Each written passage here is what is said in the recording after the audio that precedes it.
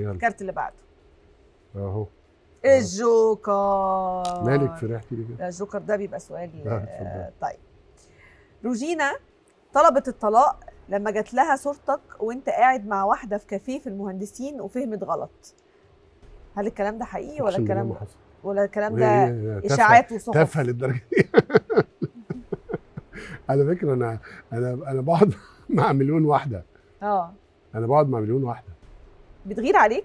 مفيش ست ما بتغيرش بتغير عليها؟ طبعا. مم. إحنا الاثنين بنغير على بعض. بتغير عليها جدا؟ طبعا. طيب لو بس جينا مستوعب. آه. يعني مش اللي قاعدة مع زميل فلا مش أنا مش من النوعيه دي. تمام. لو جينا. الكارت اللي بعده. إيه اللي بعده؟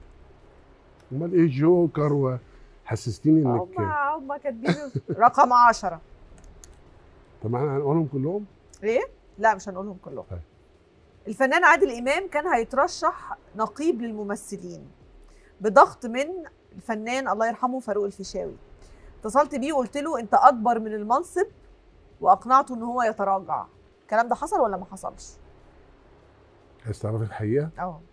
هو اللي كلمني. آه. هو آه، فوجئت بتليفون جاي لي قال لي ألو أيوه يا أشرف أنا عادل إمام. فأنا اتخضيت يعني. اولا أنا أفرح جدا جدا إن يبقى الزعيم هو نقيب المهنه التمثيلية ونقيب الممثلين مم. ده حاجة للبلد عظيمة مم.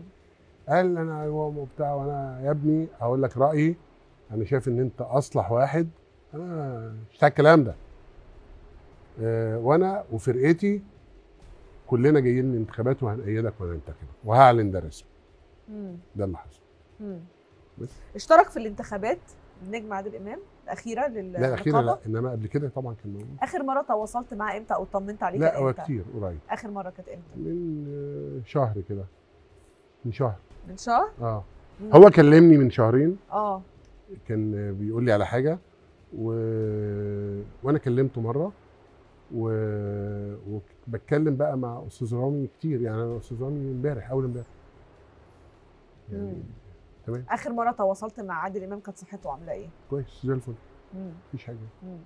بعض الإعلاميين طلعوا واتكلموا عنه وقالوا إن هو لسه عيان شوية إن هو تعبان جابوه شوية. منين؟ جابوه منين؟ بيقولوا لنا المصدر. وفي إعلامي طلع قال إن هو عنده زهايمر أو أصيب بيقولوا لنا بالزهايمر المصدر. مم. لو نعرف المصدر هنرتاح. مم. محمد الباس طلع قال كده. هو أصيب بالزهايمر؟ طب ما ليه ما حدش طلع رد على محمد الباس كلمني ليه ما حدش طلع رد على محمد اللي الباس يرد مش إحنا اللي نرد اللي ترد أسرته. هو كلمني كلمني كان في حد من الزملاء عنده من الشباب الصغيرين وكلمني قال لي كلمني مكالمة طويلة عريضة. زهايمر إيه؟ مم. قال لي فلان فلاني عندي والواد ده واد كويس وأنا عايزك تخلي بالك منه وتعمل له كيت وتروح كيت. مين فلان الفلاني ما تعرفوش؟ واحد من. الشباب الصغيرين. وخليت بالك منه فعلا؟ سجن بهزر معاك انت ما بتحبيش كوميديا أنا بصدق إحنا على فكرة بنسأل عشان إحنا عايزين نطمن عليه لا يعني. هو فنان والله. وهو يعني الناس كلها عايز بتعشقه على عشق حاجة. يعني عايز فاحنا ده. حاجة آه. مهمة إن إحنا نطمن عايز عليه أقول حاجة بس أريح الناس لو في فنان والفنان ده إنسان والإنسان ده زيه زي أي بشر طبعا. بيعيا ويبقى طبعا لو في حاجة ما أعتقدش إن إحنا مش هنعمل مم. فريحوا نفسكم